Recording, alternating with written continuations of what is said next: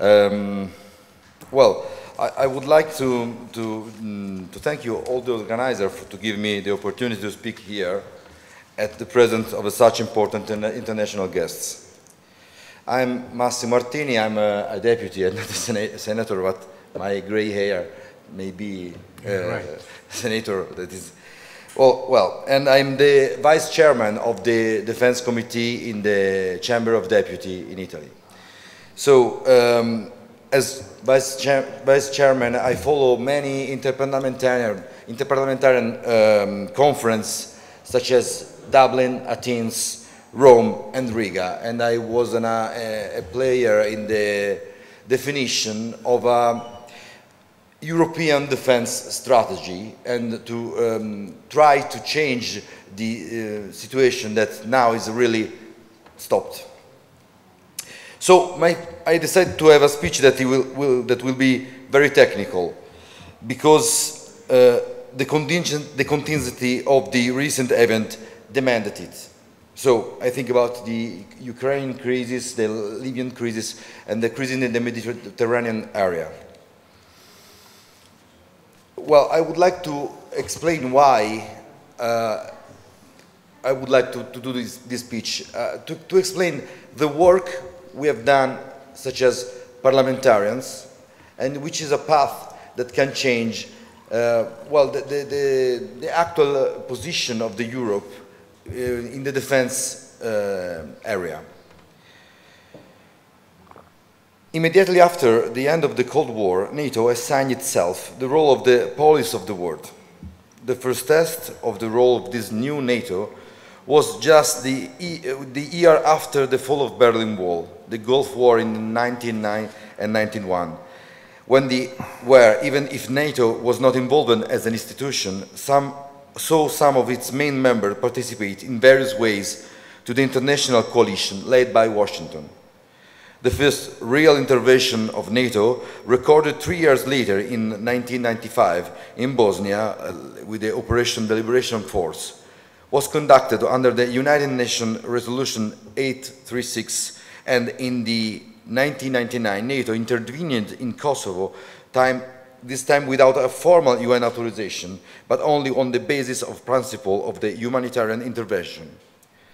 Then the world was changing again in the 2001, September 11th, and NATO was the first international organization to take action by invoking the first, for the first time the Article 5, which states that any attack of member states is considered an attack on, on the whole alliance. Since, then, since then, the NATO was increasingly become a tool at the service of the power politics of the United States.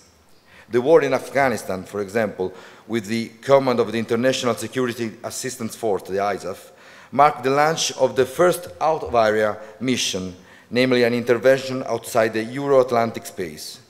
Even the conflict in Iraq for the other overthrow the, of the Saddam Hussein regime in 2003, although not formally conducted by NATO, in, involved number, numbers of members of the and had seen the alliance committed that pro to providing an important support. In all this US-led mission, the mindset on which the participation of the European allies was based has always been the same that sees the United States as the leader and the European country with a subordinate gregarious role. It is worth recalling the NATO, unlike the Warsaw Pact, did not terminate after the fall of the, of the Berlin Wall because it formally, formally a democratic organization of equals. With the dissolution of the USSR, failed the Soviet hegemony on which the Warsaw Pact was injured, the alliance has no reason to exist. Otherwise, NATO saw equal participation formally of the member states to the organization. Nevertheless, it involves a bond of subjection on the part of European countries, which, are, which are often pressured to intervene in support of the United States policy against the, their interests and or their benefits in the name of an alliance pact that European countries cannot afford to break up because they depend on the United States for crisis management, even the, to cope the geographically nearest crisis. For example, The intervention in Libya in 2011, for example, I say, not only led to catastrophic result in terms of regional stability, but also demonstrate that Europe is not able to fully manage a crisis of that kind alone. Just, kind, just think of the fact that the American support has proved crucial for reconnaissance and target acquisition. France and the United Kingdom had almost exhausted their supply of arms stocks when Gaddafi fell from, fell from, power, with the result that Europe has not been able to engage in a subsequent stabilization phase. Thus, the huge strategic role the, that NATO has played since the end of the Cold War is largely due to the lack of a credible alternative of the European side.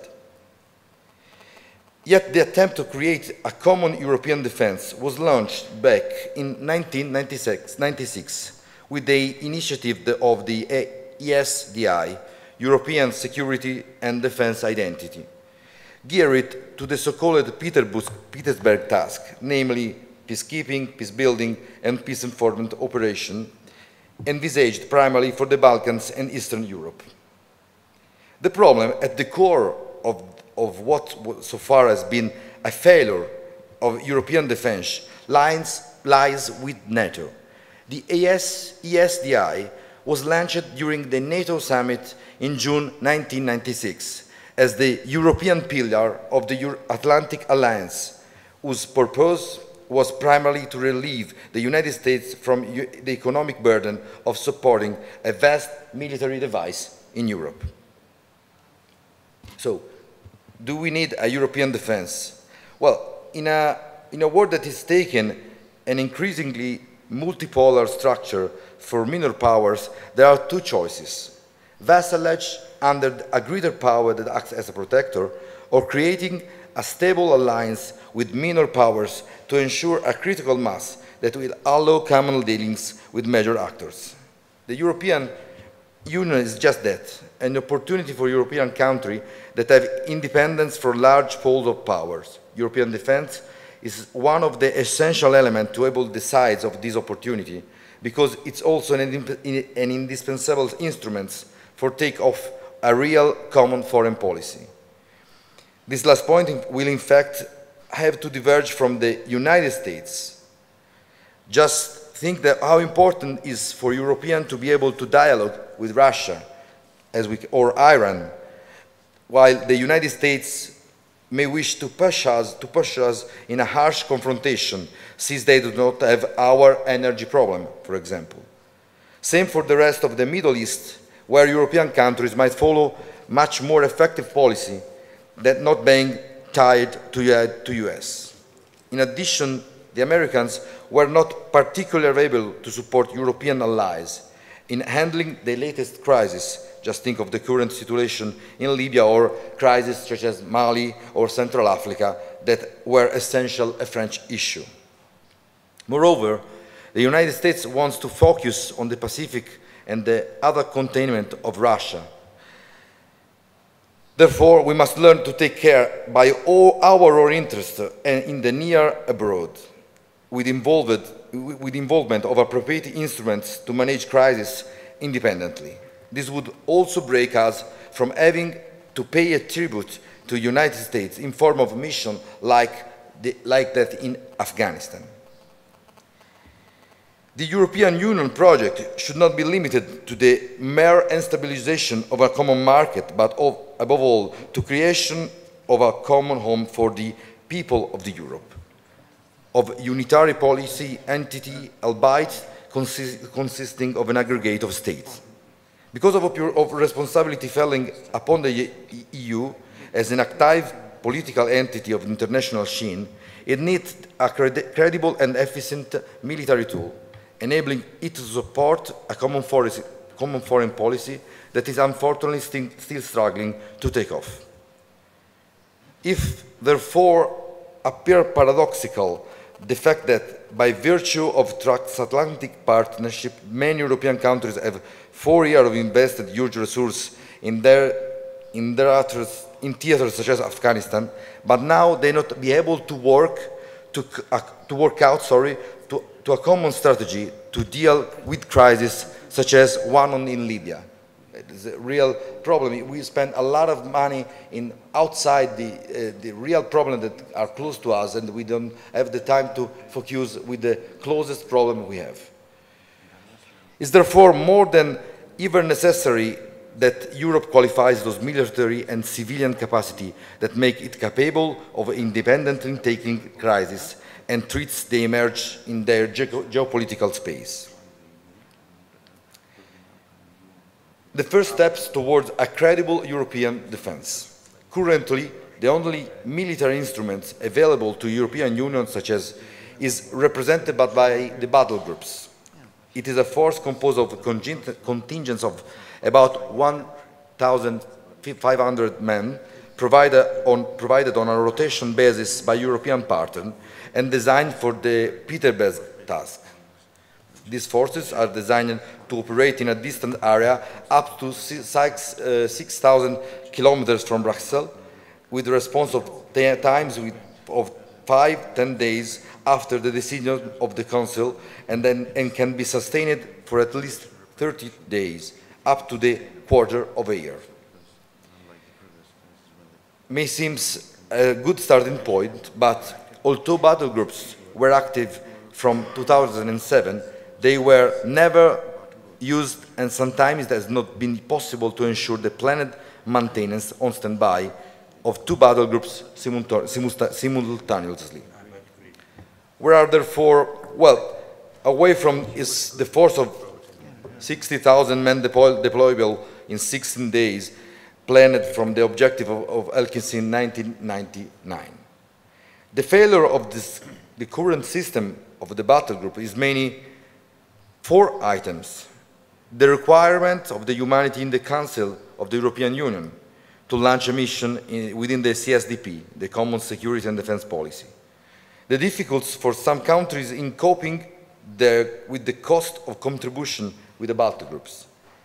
Difference in national procedure relating to the authorization of participation and its armed force in mission of the European Union and at the end, some technical shortcomings that prevent battle groups to conduct certain types of mission, such as the deficiencies in strategic and tactical intelligence.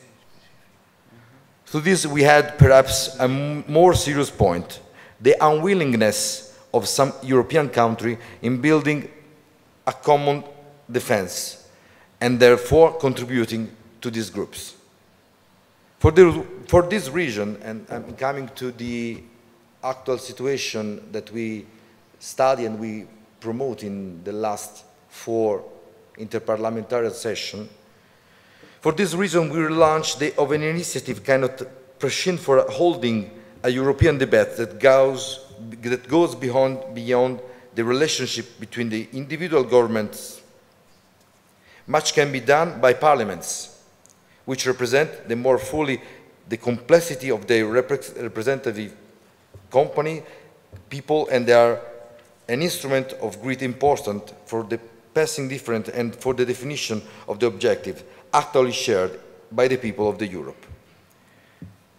The first step towards the revival of European defense was made by the European Council in this last December, in the December of 2013, which reiterates the invitation to improve the rapid response capability of the European through the greater flexibility and deployable okay, and deployable uh, battle groups, a revision of the Athena mechanism of financing, and more flexible procedure. But the main boost came from the Interparliamentarian Conference. Together with our colleague in many parliaments, I, we started engaging an issue after the IPC in Athens in April uh, 2004, and the we started a constructive co cooperation with delegates from, from other countries, and strange, but from Netherlands, from France, from Germany, and from, from Greece also in, in the beginning of the, of the work. And where a proposal from Netherlands that the critical of battle group issue were finally analyzed and also was made a commitment to find a practical solution. In Rome, we find four points where we need to focus to find the solution, where and was uh, how to deploy the battle groups under the mandate of the Article 44 of the Treaty of European Union, how to change the Athena mechanism to respond to concerns expressed by some countries regarding funding, to harmonize the process related to authorize the deployment of the battle groups and the way to employ battle groups within a framework of permanent structured cooperation.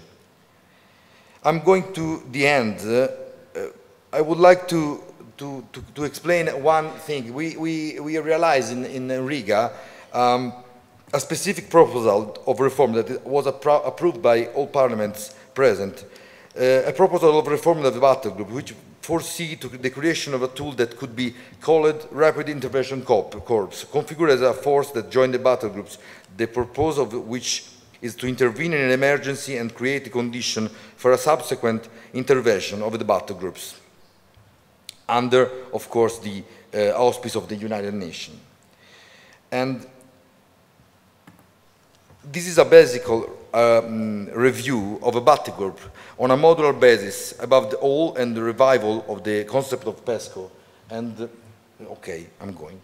Okay. Um, I would like to say, I'm sorry for the, the, the long speech, but the, the, the um, creating this, I, I think that is an important past step in the European between the European Parliament because we create a tools that can left Europe to decide their, his own foreign policy. And in conclusion, is the, last paragraph. Uh, the, you have the right to the last phrase. Sorry. The last phrase, okay. I'm going to the last phrase, okay. If we manage to accomplish this reform project on the European defense, you will not longer call into a question NATO's role, but you could even start the creation of a genuine common foreign policy, free from US, US interference, which, which in turn we would help to refocus the Union internal policies in a more political and less economic, economical way, hope, hopefully bringing us toward a Europe of people. Thank you. Thank you very much, uh, Marshall.